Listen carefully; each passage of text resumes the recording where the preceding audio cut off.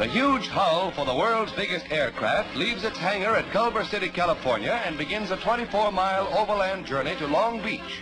One wing alone has greater span than a super fortress. And when completed, the huge aerial behemoth will be powered by eight 3,000 horsepower engines. En route to special graving docks, linemen clip wires and shift poles to provide clearance for the huge seaplane.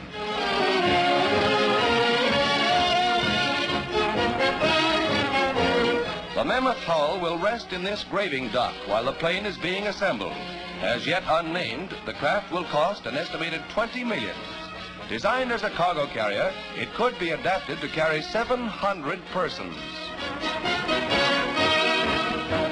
Howard Hughes designed the winged colossus, which opens new horizons in man's conquest of the skies.